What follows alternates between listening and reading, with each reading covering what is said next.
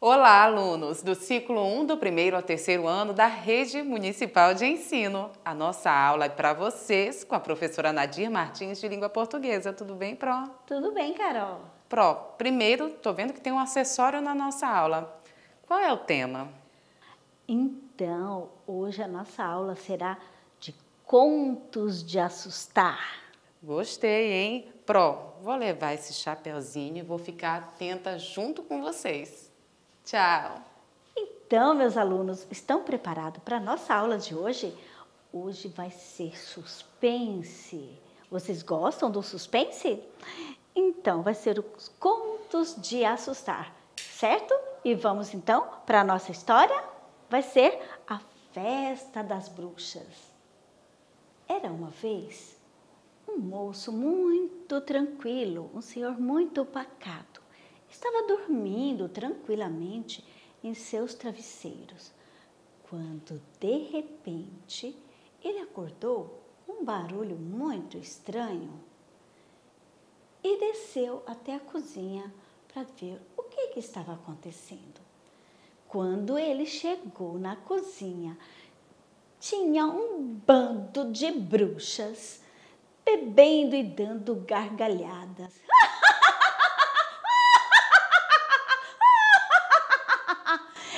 Ele levou um susto e quando elas viram ele, aí que elas deram mais gargalhada e um brinde a ele. Pegue nossa vassoura e faça uma viagem louca. Quando ele viu, ele já estava montado na vassoura, passando pela chaminé e estava voando, gente, voando por cima de montanhas, por cima de cidades. Lá de cima, ele via ainda as luzes acesas das casas. E ele achava muito estranho aquilo tudo. E ele lembrou de que sua mãe, que tinha uma familiaridade com coisas de bruxa, que dizia a ele que ele não podia falar nada, porque senão era perigoso ele acordar e cair da vassoura. E ele saiu voando naquela vassoura e passava por montanhas, por rios e por cidades. Até que de repente ele viu uma cidade que estava com uma clareira muito bonita e muitas pessoas reunidas. Aí ele resolveu olhar de perto. Mas ele estava com um pouquinho de medo, porque como ele não era um bruxo, ele estava com medo de cair. Ele só lembrava que ele não podia falar nada, porque era sujeito, ele caiu um baita tombo e se esborrachar. Aí, quando ele viu que ele já estava se equilibrando melhor na vassoura, o que, que ele fez? Virou o corpo e baixou para ver se conseguia ver de perto aquela festa. Mas, como ele não era um bruxo, ele se despencou e caiu no palco. Os atores levaram um susto danado, mas o público, gente, achou aquilo muito engraçado. Achou que aquele homem voador fazia parte daquele mistério daquela festa. E aí começaram a aplaudir, aplaudir, aplaudir, e ele ficou todo entusiasmado, se sentindo um garotinho. Começou a dançar, começou a dançar no palco, e o tempo foi passando. Até que de repente ele lembrou de sua vida pacata, dos seus compromissos, de sua casinha e despediu do público. Lembrou que ele tinha que voltar para casa. Estava muito animado, mas falou, fez uma reverência para o público e foi para a vassoura. Chegou na vassoura, ele disse: Acabe com esta festa louca! E vamos de volta para minha casa, que eu quero o meu travesseiro para ser o meu companheiro. Quando ele viu, ele já estava na sua cama, deitado em seu travesseiro e achou muito estranho. Levantou para ver se encontrava ainda com as bruxas. Quando chegou na cozinha, estava tudo arrumadinho como ele sempre deixou. E ele pensou: Poxa, que sonho mais esquisito! Pegou e foi voltando para o seu quarto. Quando ele chegou lá no seu quarto, pronto para dormir, tinha alguém puxando a manga da sua camisa. Ele olhou para o lado, não viu ninguém. E ele achou muito estranho. Falou: Poxa, mas esse sonho está muito maluco. Aí ele escutou uma voz falando assim: Tem certeza que isso foi um sonho?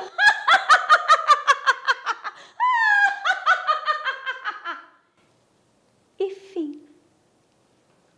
Então, meus alunos, vocês gostaram da história da festa das bruxas? E aí viram que é um conto diferente, o conto de assustar? Dá-se um medinho, mas é uma coisa leve, né? Para a gente brincar. Vamos trabalhar agora o texto que nós lemos, certo? Vamos lá.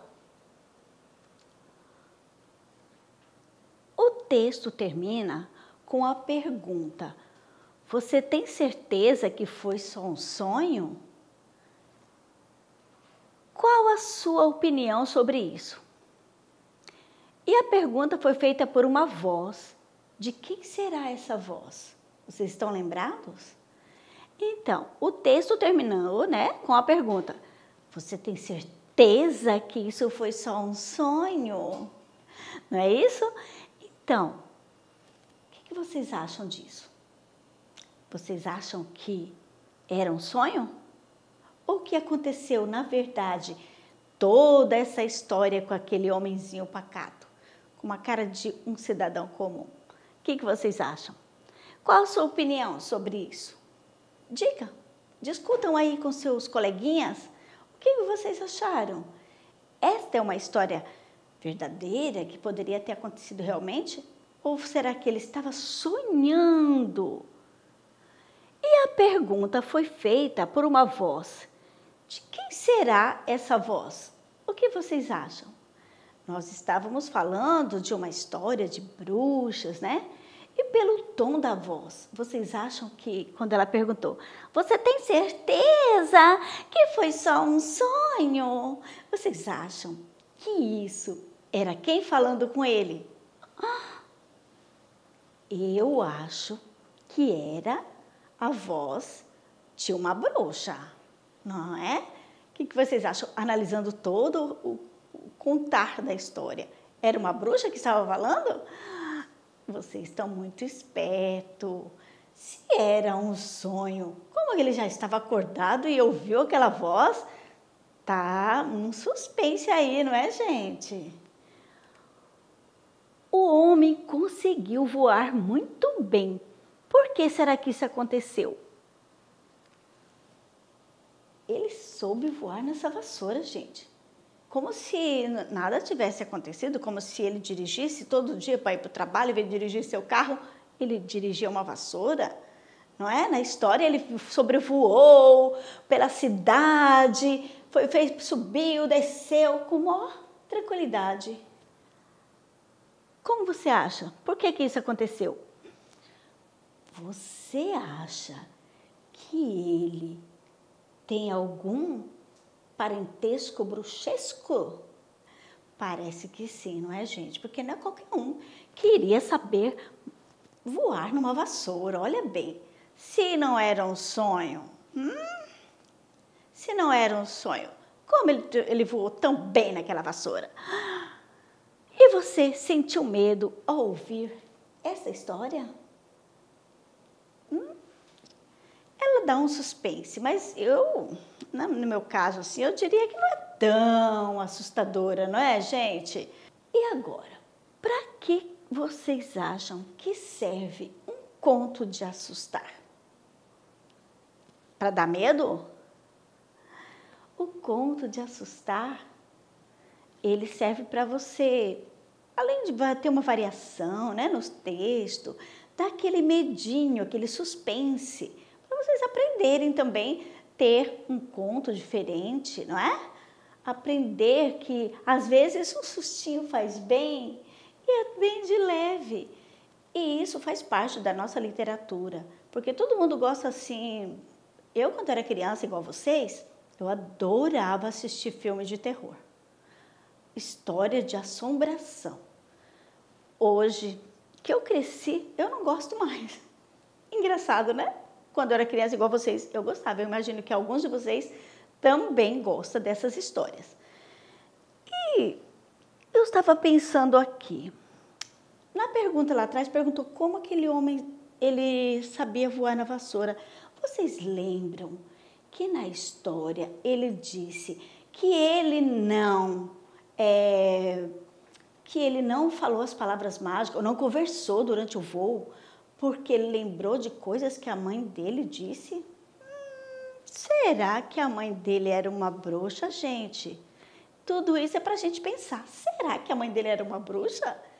Lá no conto disse, ele sabia voar muito bem. E na hora que ele estava voando, ele lembrou que tinha, ó, de ficar de biquinho calado. Não podia dizer nada, porque ele poderia cair.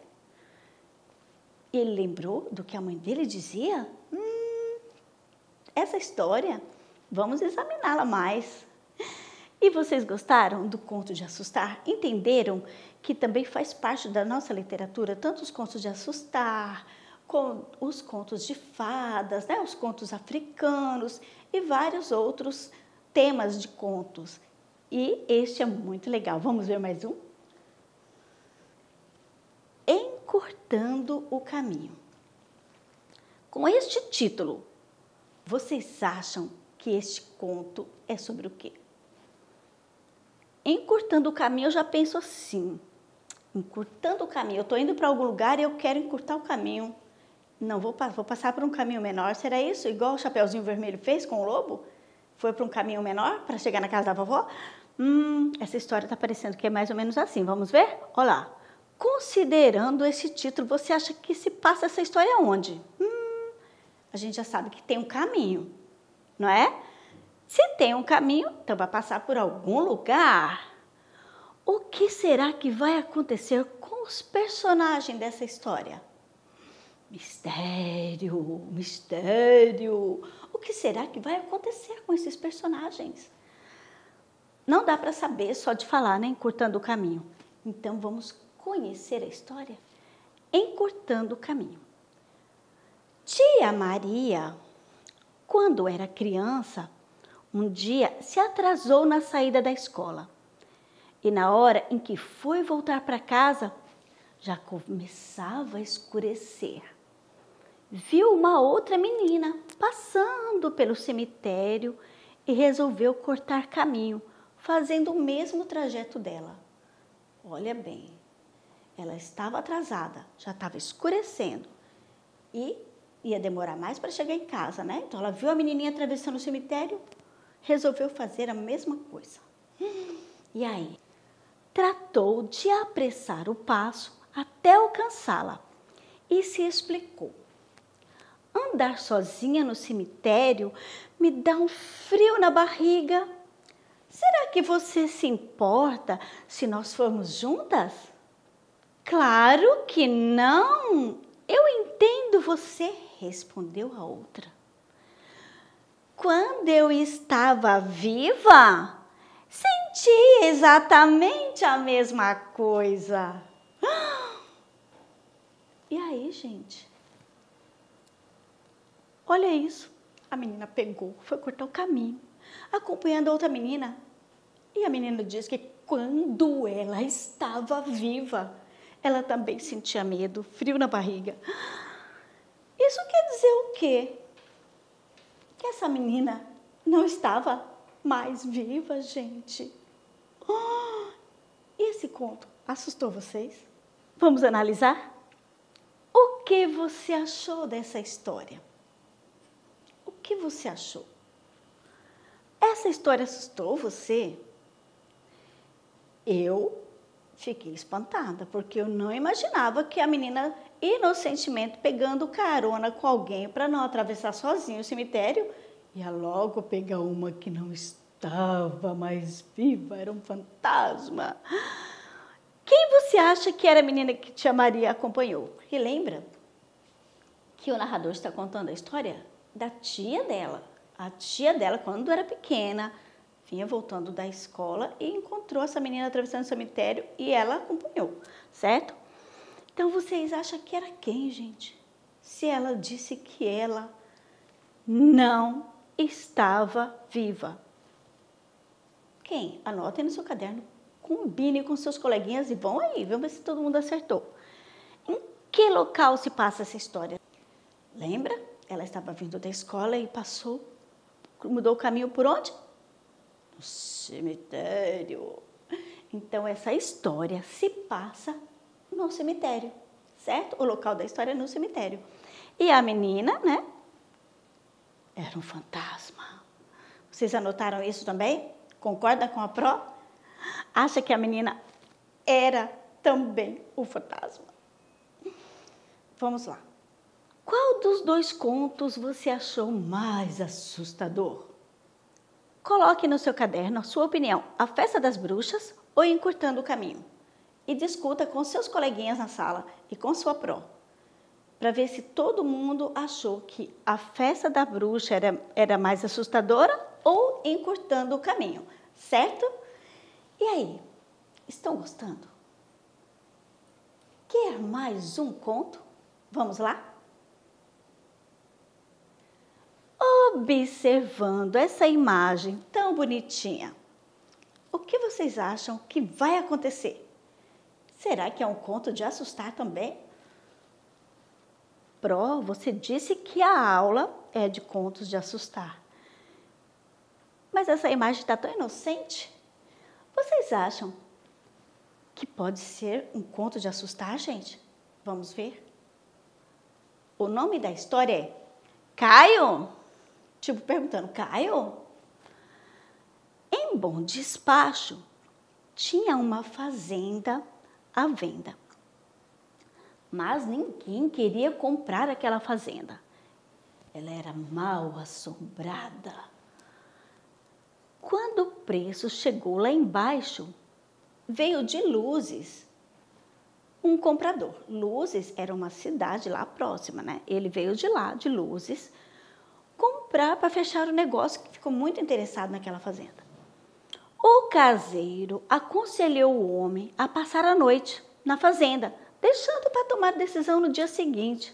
E o homem ficou para dormir. Imagino que era longe a cidade que ele morava. Luzes era longe, né? Porque ele aceitou pensar melhor e ficar para outro dia. De madrugada, acordou com uma voz carvenosa. Caio! Caio! A voz repetia. Acontece que o homem se chamava Caio. E ele estranhou muito. Foi com muito custo que ele gaguejou. Ah, aqui! E na mesma hora, um osso de perna caiu.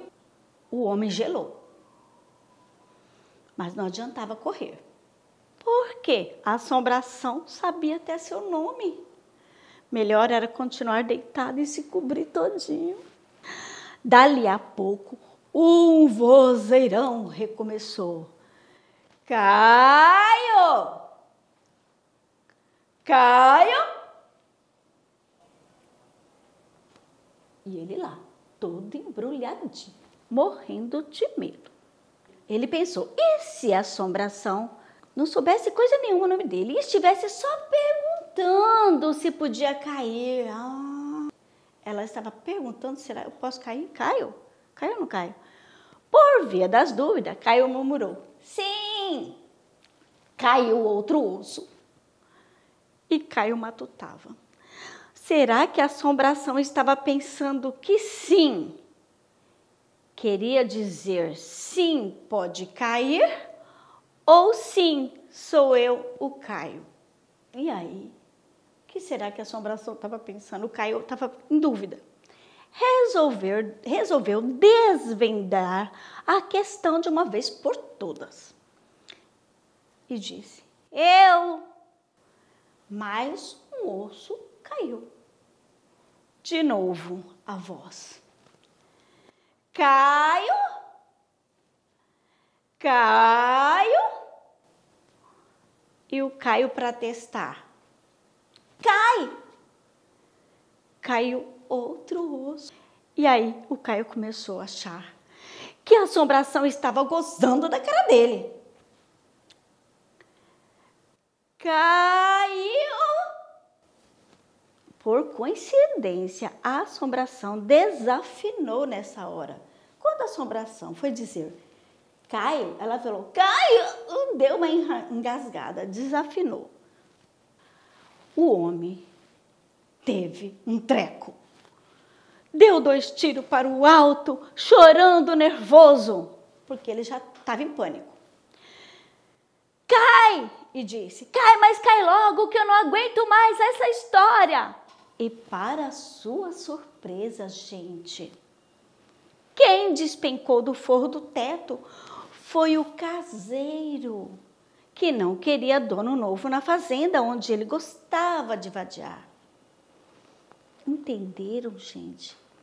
Não tinha assombração. Era o caseiro tentando espantar qualquer pessoa que queria comprar aquela fazenda. Hum, será que o meu raciocínio está certo? Está dizendo a história que o Caio passou maior medo à toa. Este conto foi assustador para vocês? Foi diferente dos outros? E aí, o que vocês me dizem? Para você, qual foi o, foi o trecho que mais gerou medo? Me diga, qual?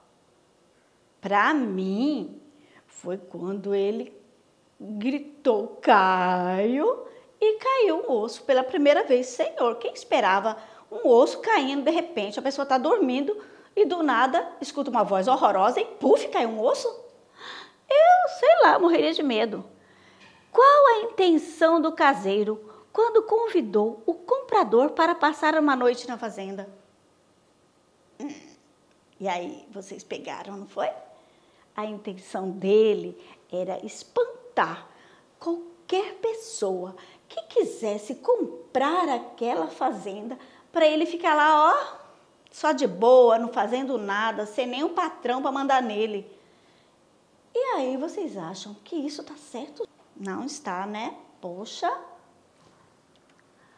Qual foi a atitude do Caio? Você teria feito a mesma coisa?